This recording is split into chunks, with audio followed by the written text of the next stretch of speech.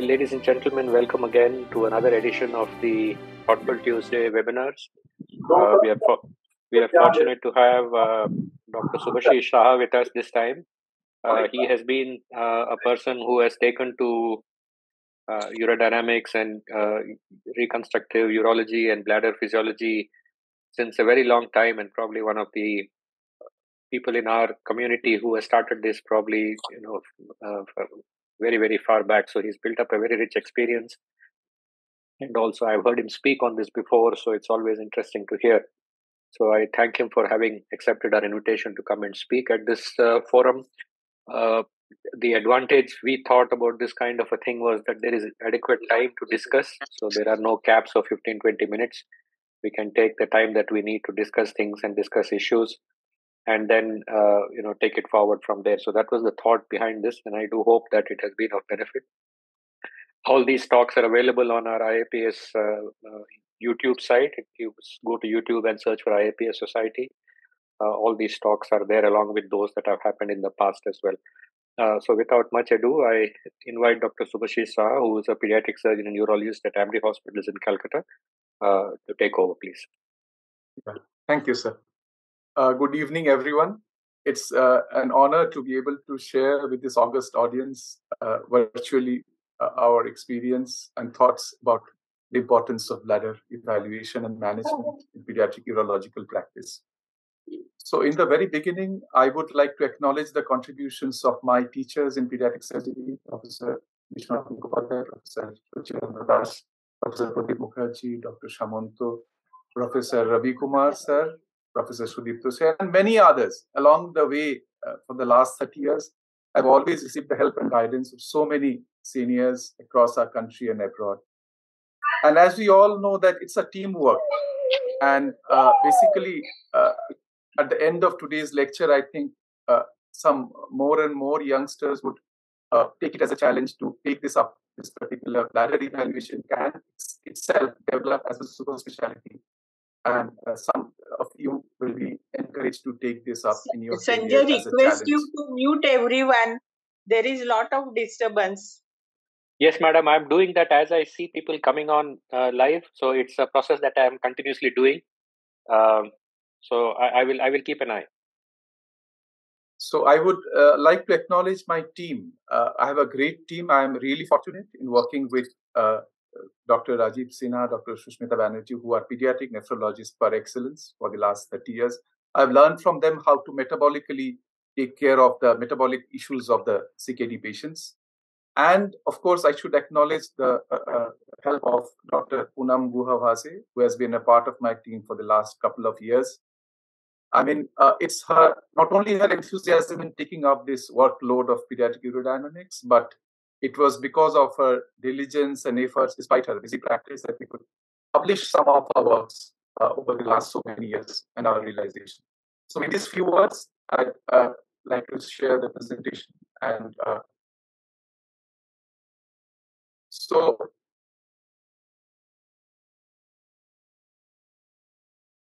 so bladder assessment in pediatric urology, that's the topic. So now bladder evaluation is not a very fancy thing. It doesn't require out of the box uh, this thing. So basically, it starts with history taking, as for any other clinical uh, examination. I mean, any other clinical scenario. So it's very important uh, to take note of uh, the basic tenets, like whether there are any LUTS symptoms like urgency, like holding maneuvers, because we see so many children with bladder disorders these days. Now, those children actually, if you just talk uh, very uh, diligently, you will find that they have holding maneuvers starting way back from childhood. And that ultimately culminates in a severe bladder uh, deformity. So, history taking about the uh, uh, level of enuresis, if there is a sudden onset enuresis, if there is any difference in the flow of urine, if uh, these infective episodes, these UTI episodes are related to some uh, I mean, as I already discussed, the constipation.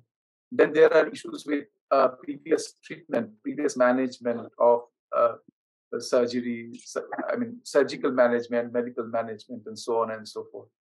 As far as clinical examination is concerned, the things which are missed usually is examination of the back. Because often we have found children coming up with severe VUR who actually have a spina bifida could be an occult one. Examining the gait, examining the anal tone, all these things actually add to your repertoire of examining properly a, a child with neurological issues. Regarding ultrasound, I'll just rush through all these basic tenets. Ultrasound, we all know, but uh, actually, you have to talk to the radiologist yourself and train him or her into how to assess, especially for a, a urological uh, evaluation. It needs not only ultrasound, it needs the rhinometry you have to exactly measure the cortical thickness, the calyceal diameter, the AP diameter, transverse diameter of the pelvis, whether ureters.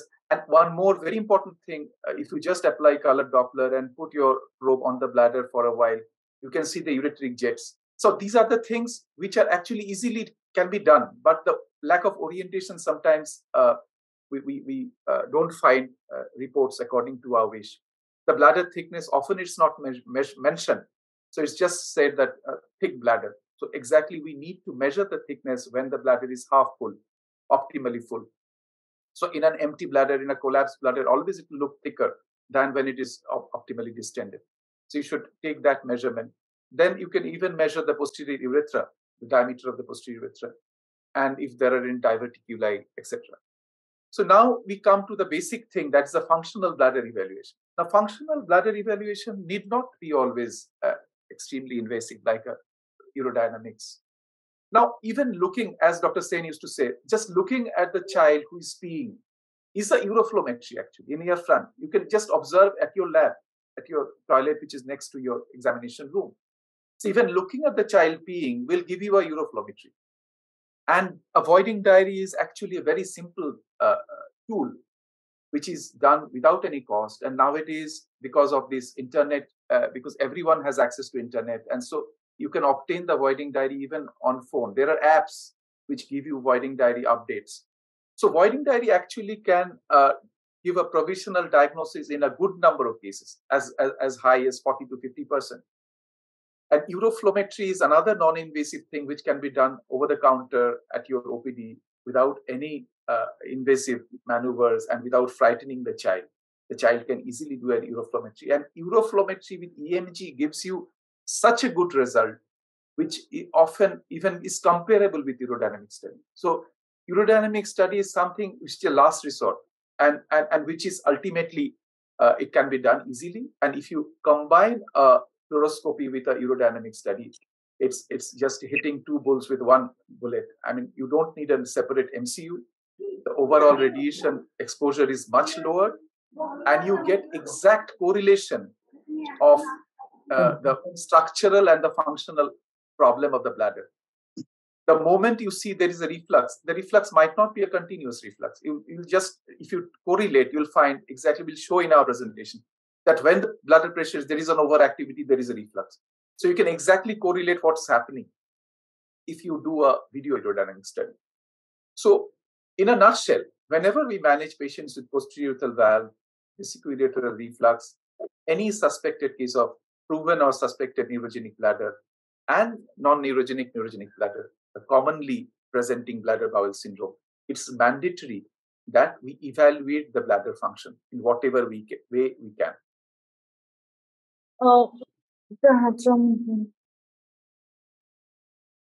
Excuse me. Okay. So We'll start with a female infant with recurrent UTI. Now, this was a one year, three month old child, one year, five month female child, had many, many episodes of five episodes of febrile UTI in one year, five months. Now, since she was two months of age, these had repeat, she needed three admissions. Out of these five episodes, three cases she needed to be admitted. So we got hold of the child. We were referred when the child was admitted for the fifth time, this female child. Now, the child had good urinary flow, it was almost every hour. So there is an element of frequency. And occasionally there was interrupted stream, which is I mean, often common at this age. It's a soft stool daily, so apparently there is no history of constipation. The sound showed a normal study done outside. So we did a, a under prophylactic with uh, prophylactic antibiotic coverage, we did this urodynamic study. Now, if you look carefully, the bladder neck is opening well, and there is a bladder contour is also more or less fine. So if you look at both these pictures, I'm sorry, yeah. So uh, yeah, so there is complete emptying and uh, there is a grade 5 reflux. And if you look carefully, this particular film, you'll find intraparenchymal reflux. Now, these are the things you have to train yourself and your radiologist to look at it.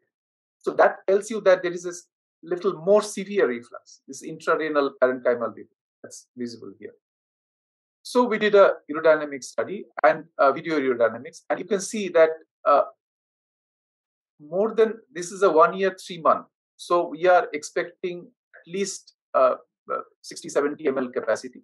And you will find these spurts of overactivity. And what we found is exactly during these spurts of overactivity and overactivity reaching up to 50 centimeters, up to 70 centimeters of water. And these are the spurts when there is reflux. So there are situations, there are uh, moments where there is no reflux during filling as well as voiding. But during these spurts, we find that there is a severe reflux. So this is a, and, and most important is uh, when you are doing a urodynamic study in a small child, you have to be mentally prepared that you might have to do a second study, you can have to do a third one. So you, time should not be a barrier. It's not that I have to finish the entire study in 10 minutes, 15 minutes. So you have to keep the entire time at your disposal and you might have to repeat as many times as needed to get a clear picture. So basically now this is the second case. So basically in the first uh, first patient here the idea is now we should not rush in to treat the reflux, whether by deflux or by surgery or whatever. So this is where our entire understanding has gone a sea of change over the last decade. Even seven, eight, ten years back, we used to uh, do n number of ureteric reimplant or deflux or vesicoscopic reimplant and all that stuff. But over the last three, four years, our numbers have drastically reduced because now we have realized that most of almost 70% of all pediatric VUR are actually secondary. So there are two issues. So if you treat them surgically or you try to cure the reflux, there is a high chance of recurrence. And many children have come to us with the recurrence after foreign surgery and at some other places. And the second thing is, most of them, as we will show in our presentation, if you properly treat the bladder, if you improve the behavior of the bladder reflux just simply vanishes. So this understanding is completely different. And that these video urodynamic studies or bladder studies have helped us in getting this realization. Now, this is our second child. This is a three-year female child presenting with recurrent UTI. Now, they were completely fed up because they were severe intractable UTI since the age of six months repeated episodes, repeated episodes, repeated uh, hospitalization. Now, the child did have a huge right gross VUR, as I will show you in the next picture, MCU, and the right kidney was non-functioning. On an EC scan, it showed almost zero function. Now, very interesting is this is how history is important. Now, this child had a history of straining while passing urine, and each time she used to pass a very small amount of urine. Now, many, uh, I mean, she had other consulta- previous consultations before coming to our uh, clinic, and and many uh, many of the surgeons, urologists, they had advised uh, nephrectomy. Now, what we did, this was a picture. This was an MCU picture when we did the MCU. Now, what we did was we didn't go for we did a nephrectomy, of course, on the right side because it was just a bag of water. There was no cortex, renal cortex, just a papery thin. But we left a portion of the ureter, lower ureter behind, right ureter. Reason was that we could, because here you see, if you look carefully, in none of the pictures, you find that the bladder neck is open. Bladder neck is closed. Bladder neck is closed. Bladder neck is closed. So in none of the pictures on the MCU, you find that there is a good, nice urinary flow with a conical shape at the bladder neck. So this is something about the MCU which uh, we didn't used to actually notice uh, a couple of decades back. So when whenever you look at an MCU, this is one more thing you should look at that whether the bladder neck is chronically it is in spasm. So that actually tells you that there is a possibility of a, a secondary reflux or secondary, I mean, rise in blood pressure detrusor sphincter dysynergy, and you need to uh, look at address that. So this child was treated with a right nephrectomy with preservation of the lower ureteric stump as a ureterostomy. So what happened? After that, she has been passing urine mostly through the ureterostomy and occasionally periurethral. The ultrasound has remained normal in the sense that the left moiety, renal moiety was preserved, the structural integrity and the functional integrity was preserved. And then we did an urodynamic study under fluoroscopic guidance to evaluate the bladder after a while, after six months. So this clearly shows that during the urodynamic study, the bladder was rounded and smooth. That's a very nice looking bladder. And during voiding contraction, there is a small amount of contrast which is passing through the ureter, It's very thin film, thin film, extremely thin film, but a huge the moment the bladder is contracting, there is a rush of urine through the ureterostomy. So basically, in this particular baby, the ureterostomy possibly saved the other kidney from deterioration and saved the child from going into CKD. So this was a urodynamic study, as you can see. This is a normal capacity bladder compliance was normal. This is all at the baseline, but here it's going up. So there are bursts of overactivity, and during all that time, the sphincter is chronically, during this entire thing, sphincter is chronically uh, active. So there is a very small amount of urine. If you see the uroflow, there is almost zero, almost zero. But here this chronically, these, these are the sphincter spasms, and this is the area of overactivity, but generating a almost negligible flow. This is a zero, flow is zero. So if you look at this video, you'll find this is a uh, video urodynamics, so you can just appreciate. So, so the flow across the urethra is extremely thin, and during this entire period, the urine is going up across. This is a uh, stoma we had created, the ureterostomy. So what we did in this child, we did a cystoscopy, and what we found was uh, uh, there was an extremely tortuous urethra. Although this is very interesting that we had done a cystoscopy at the beginning when the child was presented to us, that was at two and a half years. At that time, urethra was uh, unremarkable when we repeated this thing, when we uh, planned the therapeutic thing and did the cystoscopy, we found that the ureter was tortuous, a lot of spasm of the internal sphincter, the bladder was trabeculated, partly very mild trabeculation. This is the bladder neck. This is the bladder neck, and the urethra is actually extremely tortuous. So we did a urethral dilatation and we injected Botox in the sphincter as well as the bladder neck. So this is uh, the 6 o'clock?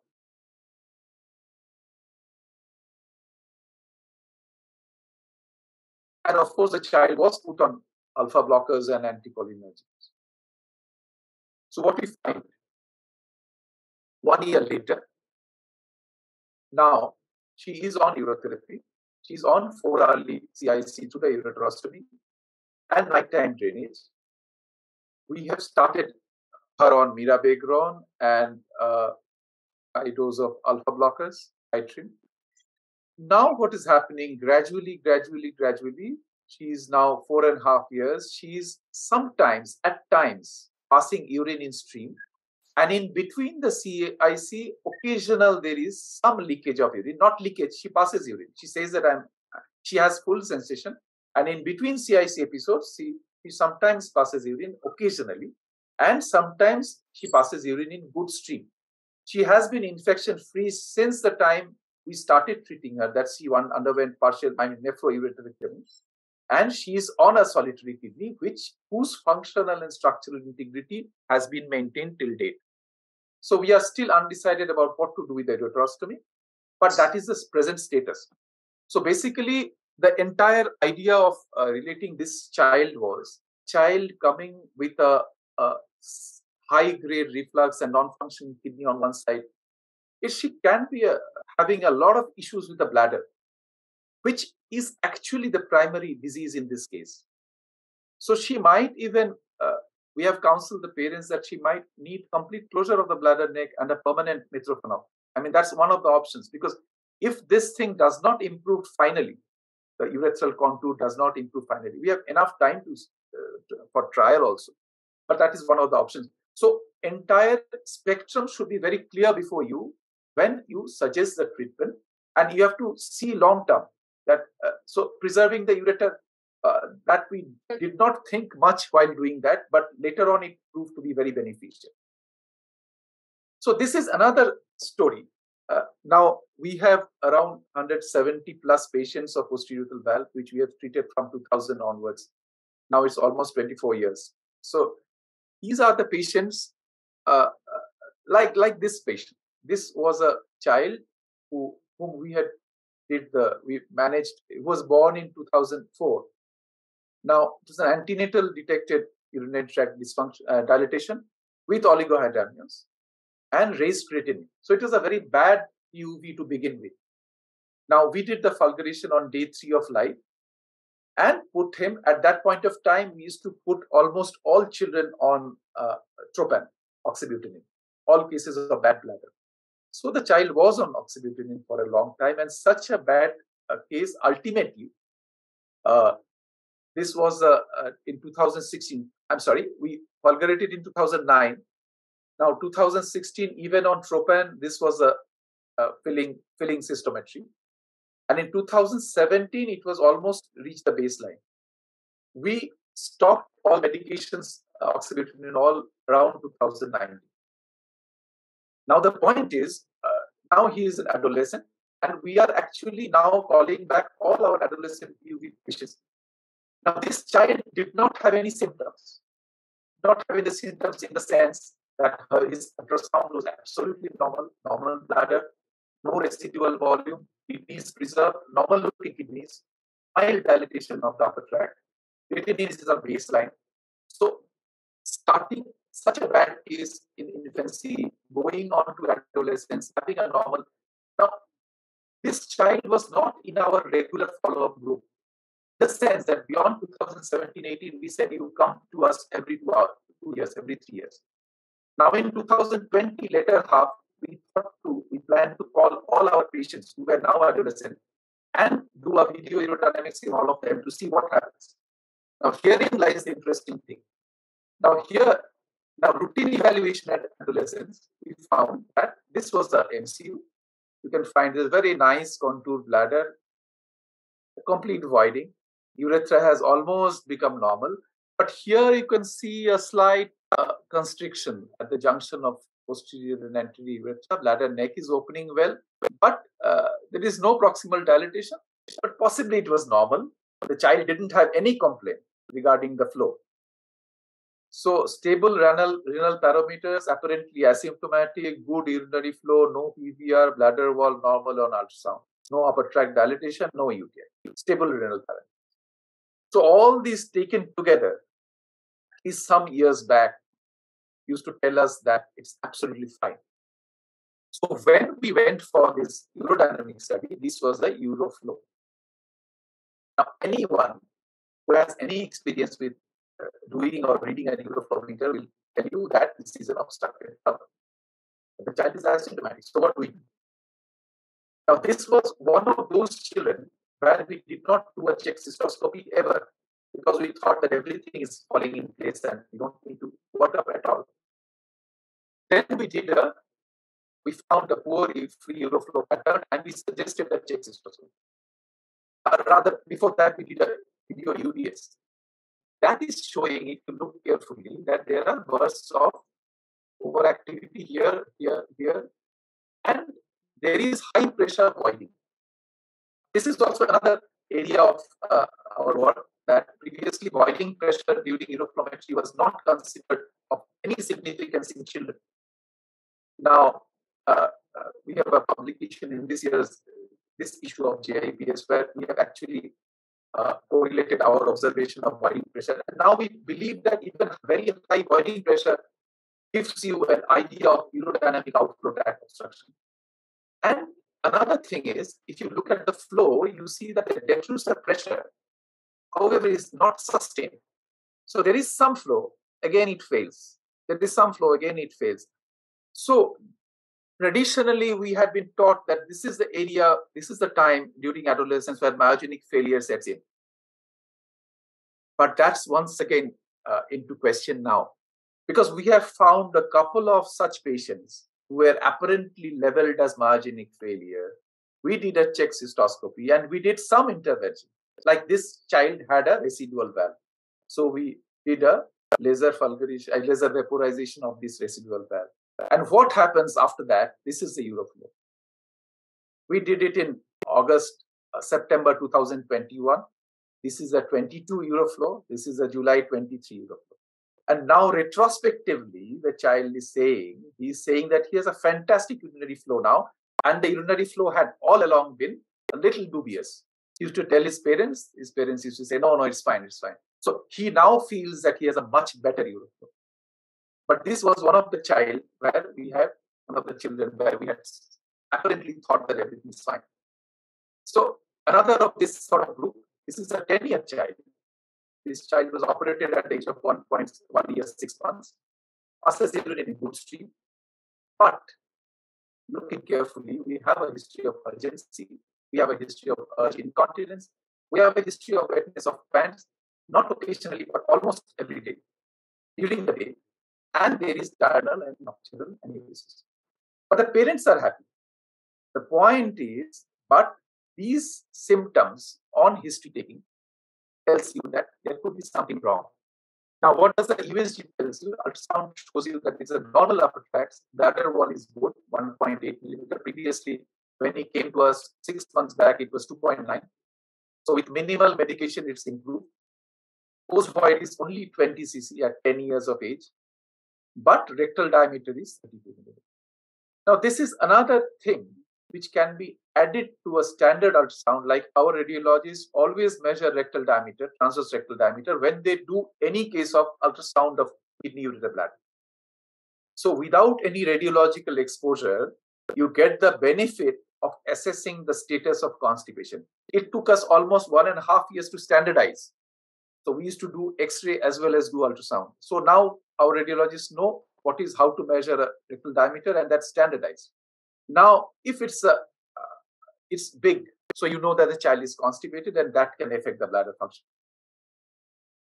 Another very very important tool, as I discussed in my first slide, is the Voiding diary.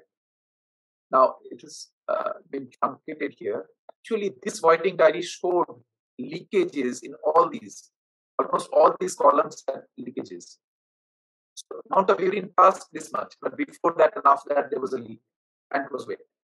Same here. And you see the amount of, I mean the frequency.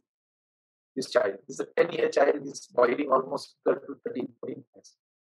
So this tells you that overall, taking everything together, there is something wrong. This is the uroflowmetry. So he passed 170 ml urine in a good stream wax is good, no BVI. So apparently everything is fine. Now, urodynamic study shows that the capacity is 130 ml. Now at 90 ml, we had to stop. 90 ml of filling, we had to stop the uh, study because there was intense urge to evacuate. The compliance is normal, it's at the baseline, but there is significant overactivity. Now, in all the first study, second study, you find there is significant overactivity. Pressure is going up to 30 centimeter and only at 60 ml of filling. So now if you just correlate all the things, this entire, so many times he's wetting his pants. So you have to visualize that all that time around in 60 to 70 ml filling, there is an overactivity and there is, that is leading to the urgency and that is leading to the leakage. And the urodynamic study actually and what we noted was during each detrusor contraction, he has an urge to pass urine. So this urgency, leakage, enuresis, everything can be explained in this single study. And the picture is more or less clear. So if you see the voiding curve, capacity is small, ideally. So it's a shrunken, little shrunken bladder. That also tells you. Now, all overactive bladders are little shrunken. If it's a good capacity bladder, usually overactivity is absent.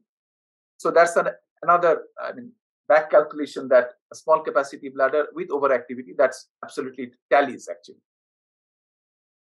Now we what we did was we actually treated the child with medications.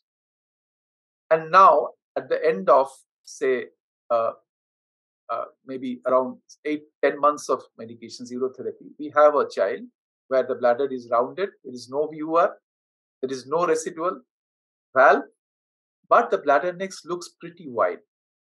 Now, we are not sure why this is. So, this is another area of doubt. But basically, with medications, you can stabilize the bladder and all those things. So, we this was our plan for the time being, and even just management of the constipation and adding a little amount of medication actually entire uh, uroflowmetry change. This is uroflowmetry. Now, that is on June, 20th of June. You find there is no leakage on one day, and the other day there is once leakage of once or twice, very little amount. And the entire frequency has come down, and the voiding volume has increased. Here there is 300. Previously, all the voiding volumes were 130, 140, 60, 70, like that. Now it's almost 300, even 500. So that's the change you can create. But apparently, and this is the Uroflow, recent Uroflow, and it shows a pretty good thing. It's previously completely sort of obstructed. And here there is a good Uroflow. Now, this is another child, uh, very small, young child. Those two were very adolescent. Now, this is a three year, eight month child with posterior valve. Now, this was the original uh, uh, uh, antenatally diagnosed once again and fulgurated at the age of two days. There was one episode of UTI at one year, now doing well, passing urine in good stream, but occasionally wets his pants. Now, stooling pattern is normal. So, the point is, this was the original MCU, and now this is the clinical picture. So, apparently, we should have been happier. Uh, everything is fine. So there is uh, no UTI now, passing urine in good stream, sleeping well. So, so this was our, we wanted to investigate. So we did uh, one MCU and one UDS, video urodynamics. So we find that there is little upper tract dilatation. The bladder wall thickness is 5 millimeter. Post void is 50 in a, a three-year child. The voiding diary is usual volumes are 60, which is actually on the lesser side. So UDS shows the capacity of 136. Compliance is reduced. 10 centimeter at 80 filling, 80 ml of filling, and 13 at 110. Now, these overactivities going up to 80 centimeter. And after that's only up to 70 ml, you see 60, 70 ml, 80 ml filling, there is a severe burst of overactivity. The voiding curve, this is a enlargement of this voiding curve. It shows normal voiding pressure, normal flow rate, complete emptying, normal capacity. So there is a slight discordance at the filling cycle. So what options we have? Uh, we may not do anything, but actually we prefer doing in such discordant cases, we prefer doing a cystoscopy. Or we need to put the child on other blockers or anticholinergics or both. And if everything fails, in that case, we might have to go further. Now, this child, we underwent a check cystoscopy and found a residual valve, though apparently clinically he was doing well. Now we are gradually moving into uncharted territory because, as you have already told you, we have been a part of now since we have uh, uh, in our association, pediatric nephrology colleagues, we are now seeing children who are undergoing renal transplant. So, uh, so we supervise the children, we prepare them for transplant, and then they undergo renal transplant by the transplant team. So this is a 12-year-old male who consulted with CKD and preparing for transplant. Now, this is a very interesting uh, story. The story goes back to 2011 when the child was seven months old. The history was poor and uninterrupted interrupted urinary stream with febrile UTIs. So the child went down south to some institute where they did a right end ureterostomy and circumcision. But the child had, we don't have any pictures during that time, but apparently the MCU shows that there's a bilateral gross hydroureter, I mean, gross VUR with a bad bladder. 2013, the same institute, they went for a left ureterostomy. MCU at that point of time shows a small capacity bladder. That was as per the description. We don't have the plates. With bilateral VUR into the distal ureteric stumps at 10 ml. Only after 10 ml of filling, there is bilateral VUR. Now both the ureters are diverted. Now in 2019, the left ureterostomy was closed. There was postoperative leakage, which was managed by putting a stent, which was later removed. Now creatinine was stable, but on a higher side during all these periods. And ultrasound showed bilateral moderate hydronephrosis after this closure, 2019. And creatinine was 1.7. So creatinine varied between 1.3 to 1.7 during this entire period.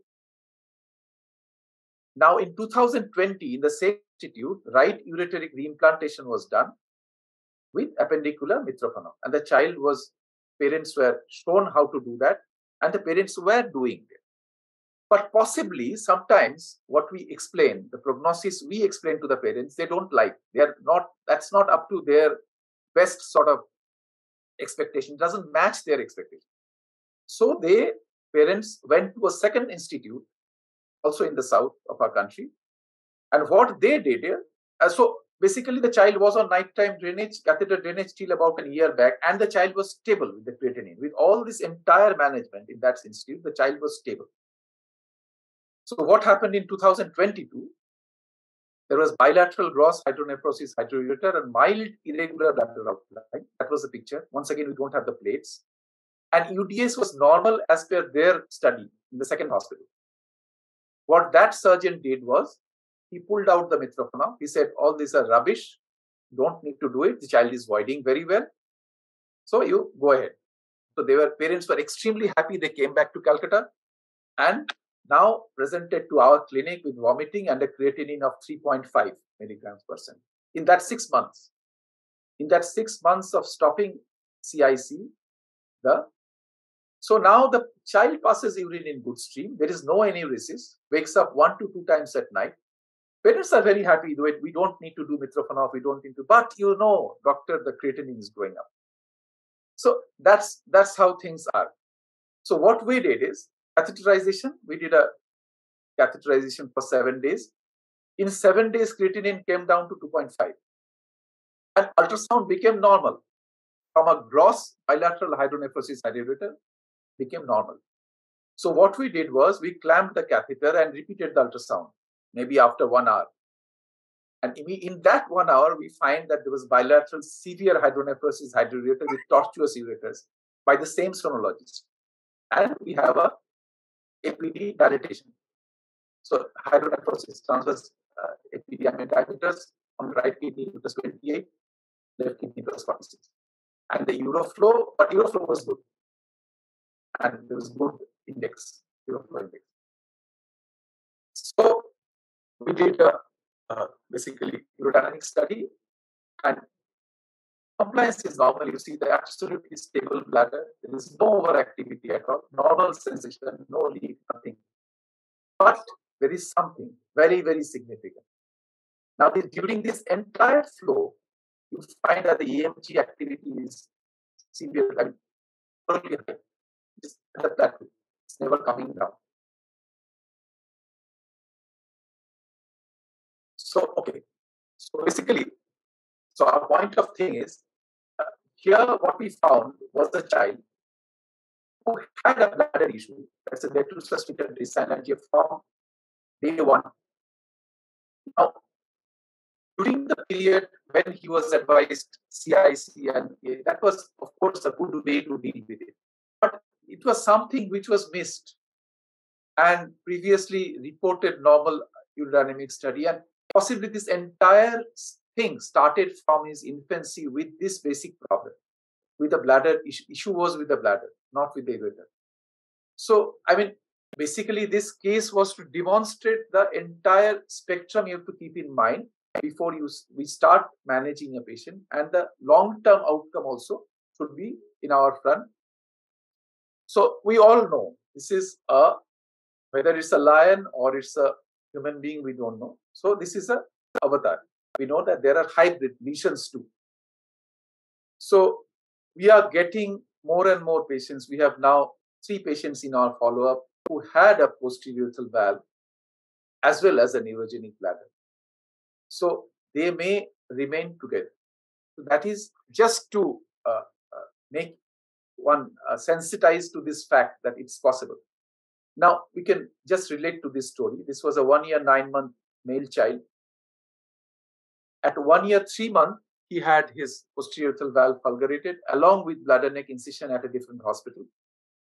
The child had history of poor urinary stream before the surgery with recurrent episodes of UTI. Before he underwent fulguration, he had three episodes of UTI, febrile UTI. Once again, we don't have the uh, parents had lost this picture of this MCU, but apparently it was mentioned that posterior valve. After that, what happens? Now, we saw this child six months after this fulguration.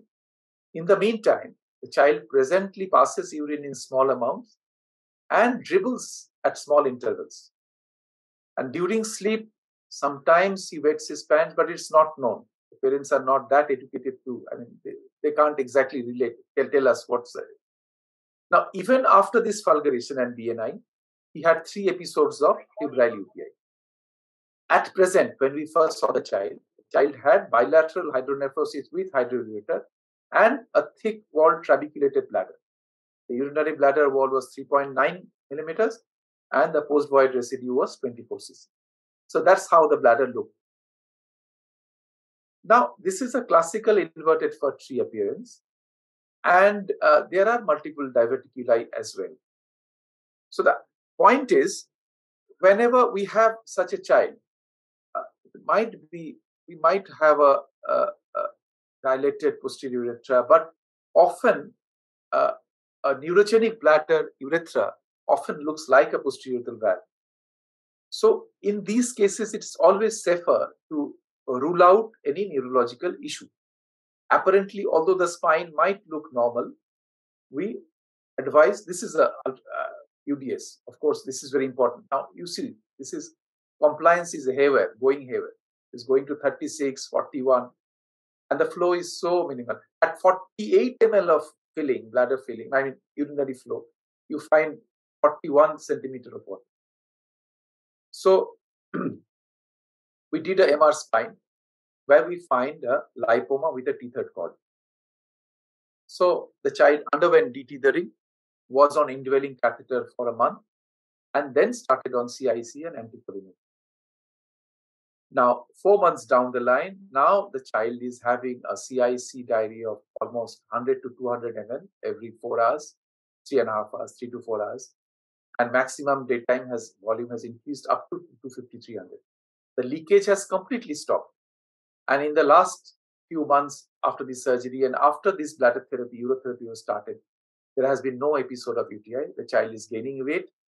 So that's all about the thing. So your, I mean, your eyes cannot see what your mind does not know. So always keep your mind open to all these possibilities.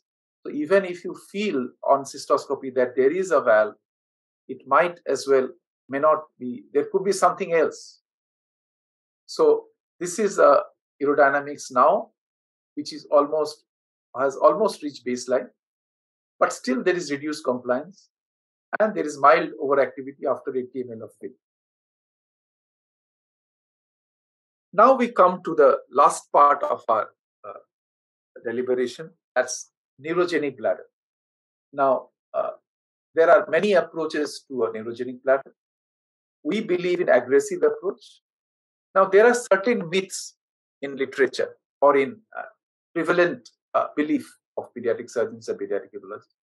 One of the myths is in a reflux, in a high grade reflux, uh, urodynamics doesn't help because all the uh, dye goes to the ureters, doesn't reflect the bladder pressure. Myth number two is that in small children, we cannot do urodynamic study or urodynamic study is not, uh, uh, actually doesn't give you enough information because all children have overactive bladder. That's a normal evolution. Uh, so these are certain myths. Now, we will try to uh, actually this is a talk which we uh, we all, uh, we also shared in our aims meet so uh, Let's come case by case. So this is our first patient. This is a follow-up case of lumbosacral myelomeningocele, now which was repaired at the age of 13 days in the year 2000. Now he is 23 years. So he has been in CIC, on CIC for neurogenic bladder since 2003. Now for the reflux, uh, someone had in, injected deflux in 2005 and again re, re-injection at 2014 cure the reflux. Then in 2014, when the deflux failed, the child had undergone bilateral ureteric reimplantation. Child doesn't have any UTI and no lower limb neurodeficit as of now.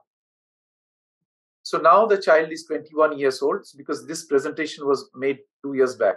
At that time, the child was 21 years.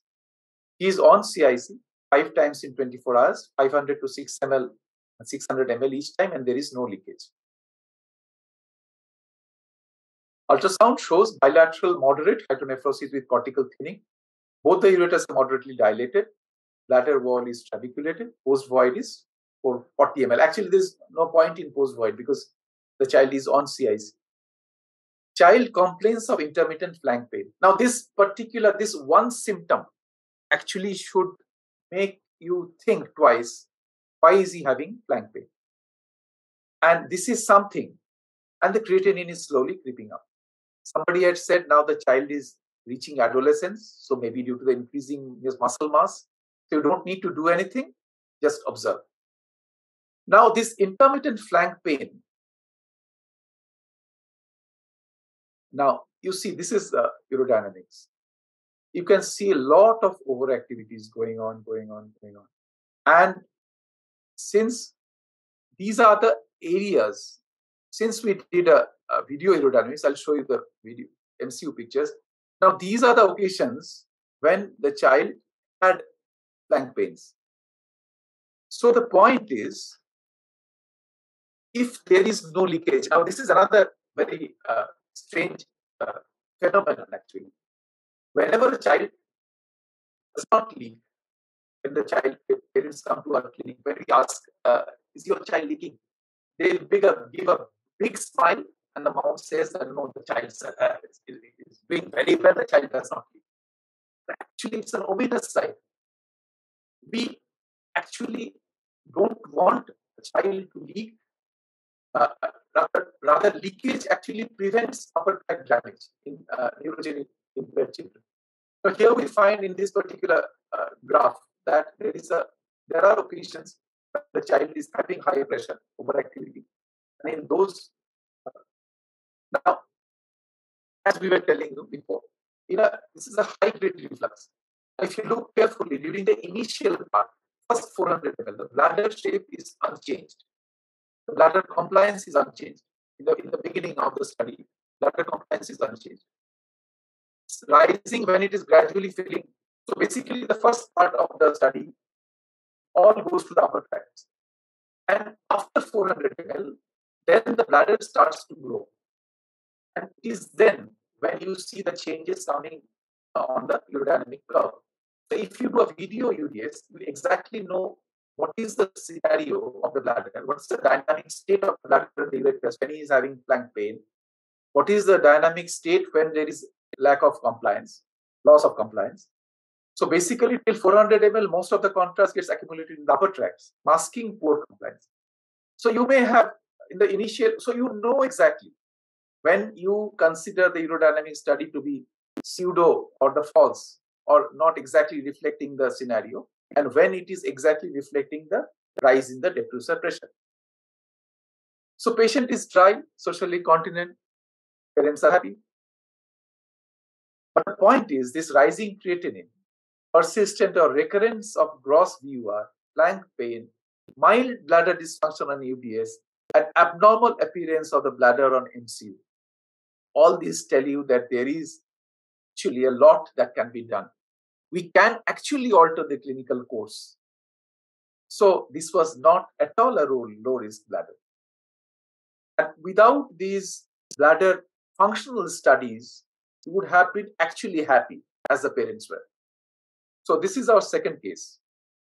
This is once again a myelomeningocele which was operated previously. Now the child is having a creatinine of 4 milligram percent.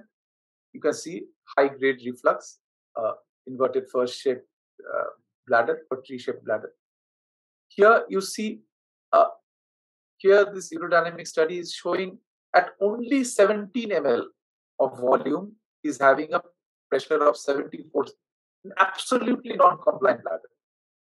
Now, this child was started on CIC, we started tolterodine, we started oxybutynin.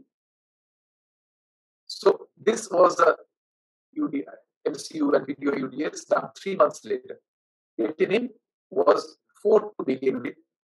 Now the creatinine is 0.4. This has stabilized to a large extent.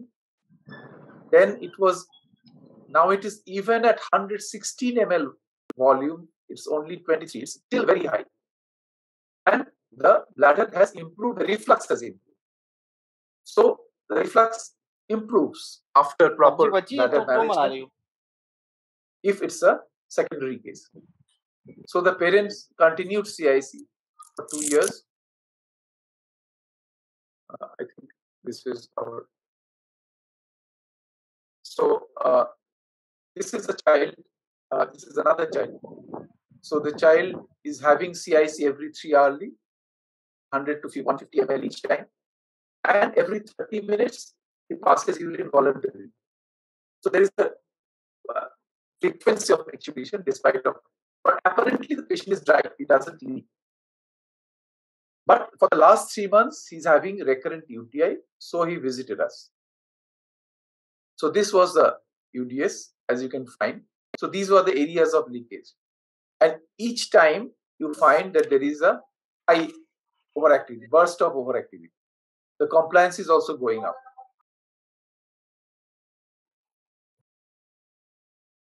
So this is the creatinine is 0.5. The right kidney uh, split renal function is 20%. So now the point is, uh, does really urodynamics help in cases of a neurogenic bladder? And how we can actually uh, modify the outcome. So this was a three-year-old male child. This was once again a lumbar myelomeningocele who was operated at birth. The child had bilateral lower limb weakness, flexion at hip and extension at knees. So difficult to lay, lay straight. Now dribbled urine continuously till the age of two years and passes small amounts of urine on prompting with straining. Now remains dry for 20 to 30 minutes. And rest of the time there is dribbling. And continuous dribbling at night. which child also was constipated. It's a typical presentation. Now, the symptoms were the child had recurrent UTI, ultrasound showed bilateral upper tract dilatation with a normal bladder and significant post-void residue, and DMSA showed bilateral scars.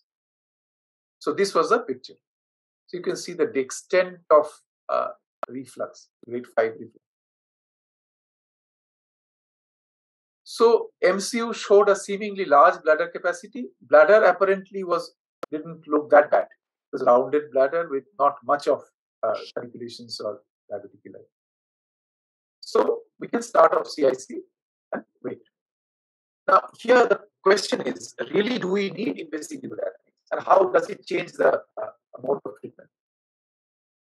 Now in the first half of filling phase, you can see that gradually the curve is going up. 10, 20, 15, 25. So basically with a filling of 138, the child has reached 35 centimeter of water. And this is the second half, which is going still higher. And in all these cases, we have leakages. So to sum up, basically, we have a child, three-year child, who has a normal capacity bladder, very poor compliance with overactivity, and the detrusor leak blood pressure is 30 to 35 centimeter at 150 to 170 ml volume. So the point is, previously the studies used to say that 40 centimeter is a cutoff. Now we have found that there is continual deterioration of subtle deterioration of the renal function even beyond 20 centimeter of water. So we want the bladder pressure to be below 20. So this child was started on CIC bowel management and anticholinergics. And follow-up assessment was done with CIC diary. We looked at the episodes of leakages, whether it reduced or not, and dilatation on the ultrasound. And accordingly, we adjusted the dose of anticholinergics. So at one year, the CIC diary showed three to four hourly, child was, we could uh, catheterize 150 to 175 ml, and there was no leakages in between. Whereas previously, the child was continually leaking at night and even during the day, every half an hour. Passes stool daily with washes, and ultrasound shows a mild right hydronephrosis, no hydronephrosis on the left, no ureteric dilatation, bladder wall come down to 3.4. Creatinine was stable and there had been no episode of UTI. And this was a urodynamic. This a filling cystometry showing, and even the voiding pressures were low. This was a voiding, I mean, uh, video urodynamics. This uh, such a nice bladder, the reflux completely vanished. So that is how we can actually monitor, prognosticate, and modify our medical management, the dosage, the type of medicine we are using with urodynamic assessment periodically. Now we have a second patient. This is another patient with alveologocele, managed in infancy. The ultrasound shows uh, bilateral hydroureteronephrosis, equal uretary bladder, and there is multiple trabeculations. Creatinine is 0.4. Now at only 140 ml volume, he's having a pressure of 40 to 50 centimeter water. Compliance has gone completely haywire. It's very much high. This curve is going up. So we started on oxybutynin and CIC. So one year later, we now have 18 centimeters. Previously, it was at 140 ml volume. We had a pressure going up to 40 to 50. Now at 200 ml volume, we have pressure of 18. Now, as we already told you, we are actually not very compliant with whatever high pressure in the bladder there is. So we added mirabegron to this child, and three months later, this was the. We now we have at 270 ml, we have six centimeter of water. So basically, our aim in all cases of neurogenic bladder and non-neurogenic neurogenics is mainly our primary aim is to preserve the renal function, whatever renal functions, as Dr. Sen used to say in all the meetings, that all these unfortunate children are born with absolutely normal kidneys. So it, the onus falls on us, the pediatricians and the pediatric surgeons, if there is deterioration of that full renal function with which the child is born. And with intervention, with assessment and medical intervention and surgical intervention whenever needed, we can actually reduce the renal mobility to almost zero in all the neurogenic cases at least. So we can go to any extent. We can use Botox, we can use medicines, whatever we want.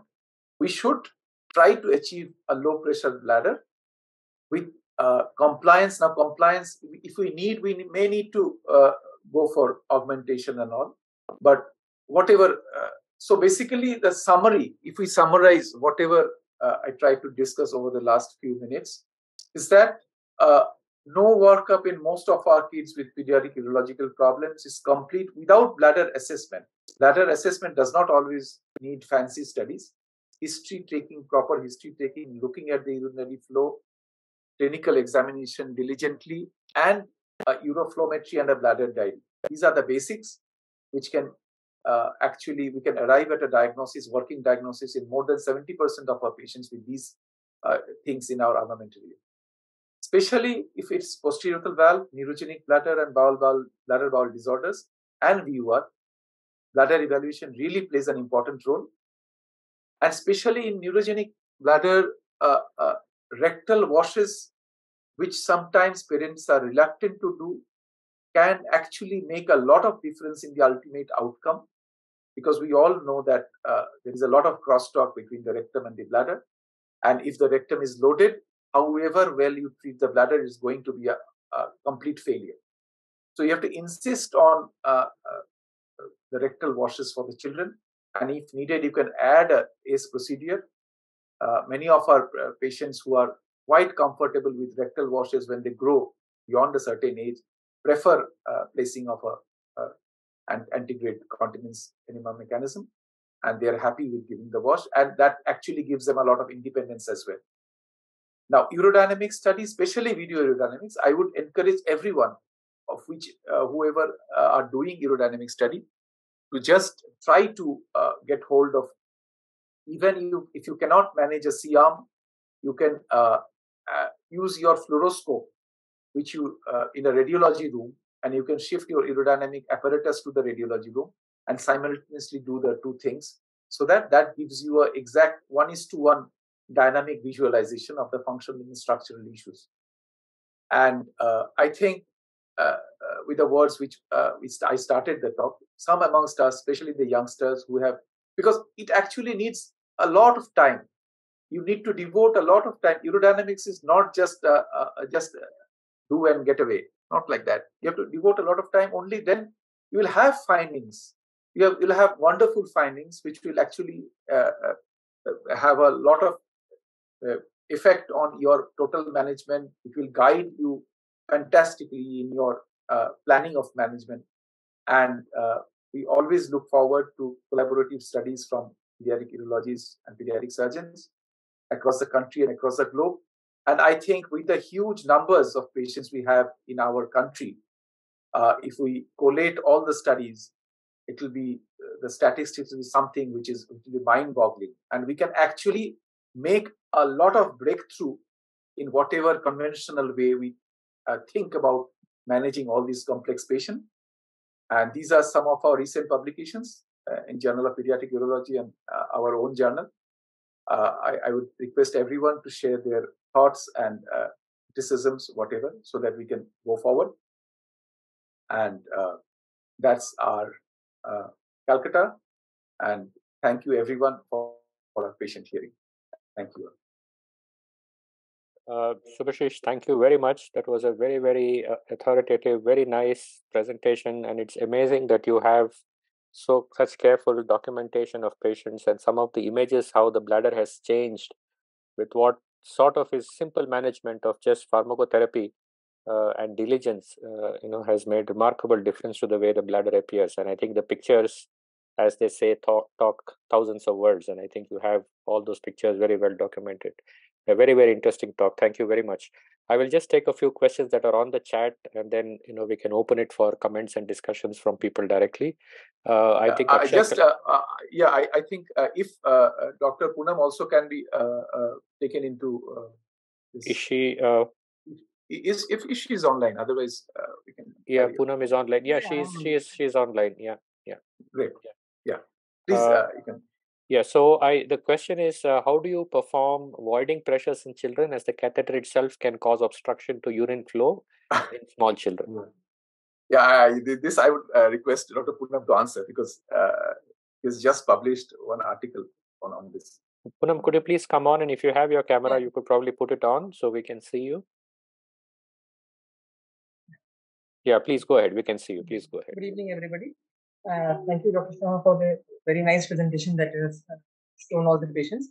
Uh, so actually, uh, regarding the voiding pressures in children, uh, all the pediatric literature does not stress upon the voiding pressures at all. But the adult literature does stress upon the voiding pressures because there are many nomograms, many formula that they have created to assess whether there is outflow tract obstruction or not. the thing is that in adults also, the studies are done with the catheter in situ. So taking idea from that, we started studying pressures in the uh, children, boys and girls both, voiding pressures. And actually, what we have found is that the voiding pressures, uh, if we are using a standard six French catheter, we are using for all the kids. So with that catheter, actually the um, maximum voiding pressures are not changing for uh, with the age. age. Uh, the we are measuring Pdet at Qmax, that is the retroviral pressure at maximum uh, flow rate. If we measure that, then we are seeing that that is not varying much with age. Uh, so uh, although the catheter is there in the urethra, but if we standardize the pressures in the presence of the catheter, and we can, if we can do the uh, studies, suppose in the known patients of uh, outflow tract obstruction, suppose before with the obstruction in situ and after the obstruction has been treated. In that way, we can get a, uh, a pressure range uh, which can be seen in presence of obstruction as well as once the obstruction has been relieved. So that will give us a good idea. Uh, that's what we have seen in the last few, in the last few years. Uh, I have one thing, uh, one more, one more thing to add. Basically, uh, there is something called the Uroflow index, which can be done with a free Uroflow. So if we perform a free Uroflow with an EMG on, that will give us a fair idea about the, I mean, uh, the Uroflow itself gives us an idea about the obstruction. So if you have any doubt that a catheter is causing some issue, we can go for a free Uroflow with an EMG and calculate the Uroflow index. That will give us a fair idea. Uh, is there any age-wise cutoff for bladder compliance? Uh, I don't think there is any standardization as of yet. But basically, uh, compliance should be uh, now normally as uh, we have been traditionally taught that for the first year, one year, the first across the first year, first few months, the bladder is non-compliant, which gradually grows and gains compliance. So the cutoff is one year. I think up to one year, uh, high compliance per se doesn't uh, tell us that it's a pathological thing. So beyond one year, gradually, if it's a non-compliant, and actually there are uh, everything has to be taken together. Like in the uh, ultrasound, if it is a thick-walled bladder, now uh, even a non-compliant bladder in an infant should not be thick-walled. So in uh, with an optimal distension, it should have a measurement of around two below two millimeters. Uh, it should not be there should not be trabeculation. So telltale signs of compliance uh, are there. It, it, it's not only on the chart. Right. Uh, what uh, when to start tol uh, tolterodine alone and when in combination with oxybutynin? Uh, how do you decide? Is the question uh, from Dr. Sarda. Yeah, tolterodine, uh, say solifenacin, tolterodine. Now, these uh, drugs have not been, the safety profile is not clearly demarcated in any of the guidelines anywhere in the world below three to four years. So in children, young children, we start with uh, uh, oxybutynin. Now, mirabegron has been used. there have been a couple of studies where mirabegron has been used beyond two years uh, but uh, especially solifenacin is hardly there is any description of safety below 8 to 10 years solifenacin and tolterodine has been used two years onwards two two years onwards but up to two years i think oxybutynin is the safest and uh, that is uh, now we have to keep in mind one thing that oxybutynin also causes a lot of constipation so uh, we are very comfortable using oxybutynin in neurogenics because neurogenic bladder patients are always on rectal washes. So the amount of constipation that is contributed by oxybutynin is balanced by the rectal washes. So and uh, so we can very well use. Uh, there is a question about antibiotic prophylaxis in all children with CIC, with or without reflux. Uh, what do you do? Uh, we uh, do not put all, uh, actually, up to five years, we put all children with CIC on prophylaxis. Beyond five years, even with CIC, there is colonization. There is always a bacterial colonization. Pus cells are always plenty, sometimes plenty, sometimes. But if their culture doesn't show significant growth, then we don't read any, uh, we don't consider it as UTI. And up to five years, all children with CIC are on prophylaxis. Beyond five years, we uh, that's not a must. Uh, okay, then it, there's a question about uh, you know compliance with CIC and how do you motivate your families? Uh, yeah. Uh, so especially, is... Uh, yeah, yeah, this is a very important thing, and I think uh, we all all are of the feeling that the parents are most susceptible psychologically and emotionally when the child is first born so whenever a child uh, comes to us or born in our center or referred to us in a newborn stage with myelomeningocele especially, we teach them, uh, teach the parents, uh, especially mom, how to do the CIC on day one of our consultation. So, so that the fear goes away, the apprehension goes away. And once the mom is comfortable doing it, uh, uh then uh, we say, I mean, we don't put all children on CIC, of course, but uh, if it's needed later on, the best time to sensitize the mom is just at birth and just uh, at a very young age. And I would say we demonstrate it repeatedly ourselves. And we, in our in our clinic, the parents themselves do, and we guide them, and we have videos to share with them, and they keep con- contacting us anytime. And most of our parents are very compliant I would say. I mean, apparently it is contradictory to many of the observations of our colleagues, uh, as we see on the WhatsApp messages. But uh, in our experience, most of our parents are very compliant. Uh, there is a question about diversion. So, were any of the patients with very trabeculated bladders offered diversion? Do you think that it would help stabilize the bladder? Yeah, of course, diversion is a is a is a uh, uh, option is an option. But the only thing is, like the children, I I mean, like the child we described, if both the ureters are diverted, at least one should be uh, Roux-en-Y or uh, uh, whatever. I mean, uh, we need the bladder to cycle. So that, that, that, that's one of the issues. And second is since there are uh, so many options today, at one point of time, say uh, in 2007, 8, 9, uh, uh, we didn't have many options. So we actually did uh, went for diversion at the drop of a hat.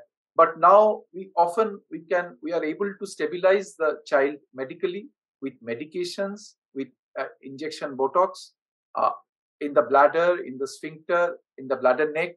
Uh, so there are options, uh, and uh, we have also uh, gone with uh, laser incision of the bladder neck in one or two very resistant children. And in the way we could do away with diversion, but diversion is of course one of the options on our chart, and we sometimes have to resort to diversion. Uh, that's the questions that I have on chat. Uh, uh, would anybody want to uh, discuss anything directly? Please unmute yourself or raise your hand. And uh, uh, Dr. Bharti Kulkarni is online. Madam, would you would you like to add comment? Excellent presentation. I enjoyed it thoroughly, and congratulations. I, I think all postgraduates should take advantage of such lectures. Thank you very much. Thank you. Thank you, madam. Anybody else wants to make a comment or uh, share a share a experience or ask a question? Lakshmi. Uh, yes, I would like to just ask about the child who. Can you hear me? Yeah, yeah. you're audible. You're audible. Yeah. Yeah, yeah. Okay. So I'd like to ask about the child who had the atonic bladder, and you had expressed about various options. I think there was a second or the third child uh, um, yeah. who wasn't whiting yeah. at all and just had the uh, from the ureterostomy she was draining. Yeah, yeah, yeah, yeah. So, um, do you do you inject Botox into the bladder neck for her, or? Yeah, yeah, yeah. No, uh, it, it's not actually an atonic bladder because the urodynamics shows a lot of activity. I mean, muscle. There is activity of the muscle, but because of the uh, contour, uh, distorted contour of the urethra and severe spasm of the uh, perineal muscle, I mean, sphincter, and a spasm at the bladder neck, uh, hypertrophy of the bladder neck, she's not able to void to completion, okay. or rather void at all at one point of time. Now we had done a dilatation and injection Botox at the bladder neck and the sphincter. That was what we did, and she has a, of course, a ureterostomy. So now she's able to. Now it has been around five months, six months. So now she's able to void at times from below so we have scheduled one more uh, one more sitting of cystoscopy and uh, dilatation as well as giving a Botox. And of course, she is on alpha blockers. So it's not exactly atonic bladder. She has a bladder tone is intact, and uh, whenever the bladder is contracting, it's going up the ureter. That's the issue. And, and her MRI was normal, is it? Her yeah, MRI yeah, was... yeah, yeah, yeah. Spine is absolutely normal. Very so interesting because, because I have a girl yeah. who's sort of behaving like that, and yeah. uh, you know, we're just scratching our heads as to what to do. She's a much older girl, so I was just wondering what was the effect of the Botox on the bladder neck and sphincter. No, no, it, it, it, it was very good. The only, only issue was uh, because even we could not catheterize the child in the beginning. It was so much tortuous. So we had to go in with cystoscope, put a guide wire, and then catheterize. So the child was extremely uh, apprehensive and didn't allow any CIC for the for the parents. So now mm. she's allowing at times once or twice catheterization. We are going to take advantage of that situation and we want to dilate again and maybe put on uh, some uh, local steroid ointment and CIC for the parents twice or thrice like that. Mm. So, how long did the Botox effect last? Is it six months like usual? For three, four months, it is very nice. Beyond four months, it gradually comes down. But we hmm. have had children with neurogenics who had, uh, where we put Botox in the bladder, uh, the function, I mean, uh, the relaxation staying on beyond seven months, eight months as well. Oh, okay. Very interesting. Loved your talk. It was very good. Yeah, thank you. You're muted, Dr. Rao. Sorry, yeah. Uh, yes. Any more any more questions? Does anybody else want to make a point or raise a question? Uh, VVS, go come on line. Yeah. Um, yeah, Sanjay. Um, Subhasis, thank you so much. I, I think I missed the initial part of your talk, but uh, I heard uh, the later part where you discussed a lot of interesting cases. It was very nice. Uh, uh I think one comment regarding Botox. I think uh, uh, Botox, although the effect might go away after six or nine months, but by the time the bladder would have relaxed yeah. and then you know yeah. would be holding more urine, so that sometimes yeah. continues uh, for uh, for longer time. So we should not actually think that every six or nine months we will need to inject. Some of these bladders, they you know they actually you know um, they they relax and then they become larger and start holding more urine at lesser uh, pressures, and this actually continues even after the so-called Botox effect wears off. Yeah, and that's one more. Thing.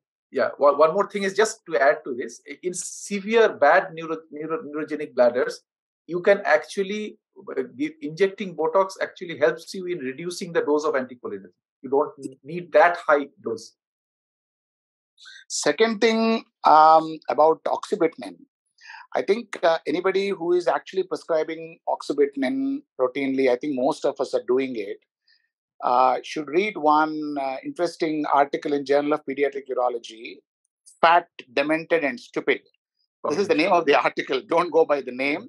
It's a yeah. very interesting article. Basically, it discusses the adverse effects of all the so-called uh, uh, urological or bladder medications that we use routinely. I mean, yeah, uh, yeah. so the first probably the first lesson is we should not start any of these medications without a proper indication. Right. you know just because there is a post-urethral valve you fulgurated the valve you just can't put the child on oxybutynin a small baby on oxybutynin. Uh, because oxybutynin uh, has a lot of side effects and uh, a lot of neurologic side effects and uh, neuropsychiatric whatever side effects behavioral modifications. So we should be very careful that's the probably one of the take home messages uh, that the youngsters at least need to know. And last question Subhasis have you in your practice encountered primary bladder neck hypertrophy causing a bladder outlet obstruction in boys? Uh, most, mostly in girls. Uh, yet to get one in a boy. Yeah i think we have seen a couple of patients. We'll probably present it in one of the bladder meetings. Yeah, yeah but it's interesting. I mean i still can't believe that that is the cause. Yeah. but then uh, all the other things uh, lead me to believe I mean, that with, with, the, with the spine normal. Yes with the spine normal. Oh, right, right. posterior yes. normal spine normal it looks like a primary bladder neck hypertrophy causing obstruction and then behaving just like how a posterior valve would behave right, think, right. Uh, yeah it will be interesting to discuss. Thank yeah, you so much. Thank you once yeah, again. thank, thank you. Thank you. Um, I, I, just had one um, question really here. Hello. Yeah, yeah, please. Yeah, please sir. With all this uh, pharmacology that you're using, what is yeah. your um, requirement for augments in these patients? How often do you really need to do an augment? Uh, now it's much lesser because previously we used to, uh, I mean, uh, prescribe augmentation uh, in, I mean, quite a few patients, but now uh, it's coming down. I mean, like in in our practice we used to prescribe say three to four augments in a year. We, we don't see that volume. But now i think the last augmentation we had advised uh, a year back. So it, it is of, of course mm. less. And augmentation I mean, comes my, with its own that's problems. my impression too. That's my yeah. impression too. So yeah. yeah. Okay. Thank you Okay. Uh, any further questions, uh, comments? Anybody else wants to come online? Please free to unmute, switch on video, and speak, comment, talk, ask. Okay, if not, I think then uh, we will we will call it a day. Uh, uh, Subhasis, thank you very much for a very very lovely talk. Uh, there was a little bit of uh, sort of voice disturbance. Uh, you know, okay. so there was some fading coming in and out. Uh, but okay. otherwise, uh, all the presentation, and the slides, everything moved excellently. So thank you very much. It was a very very informative talk, and um, thank you very much from all our behalf. Uh, this Thank will you, go sir. on to YouTube in a few days' time. So those of uh, you who have missed can, you know, we can always go back and see this there on YouTube. So Subhasis, thank you very much, and thank you, uh, thank you. good night to all of you all, and especially those in the northern parts of our country. Please stay safe, and we hope yeah. that you know the weather and things start to improve quickly. Thank you, and good night all. Thank you. Good night.